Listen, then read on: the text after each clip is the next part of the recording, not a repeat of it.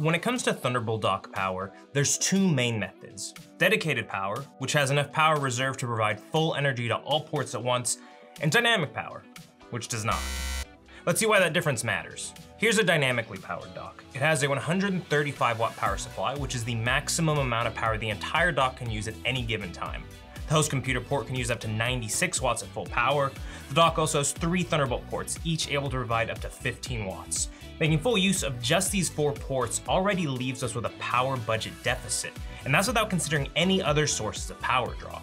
That missing power has to come from somewhere, and in this case, it comes from the host charger.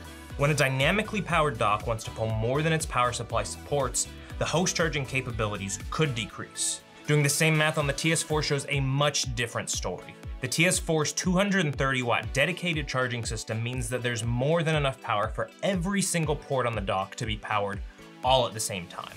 So now you know that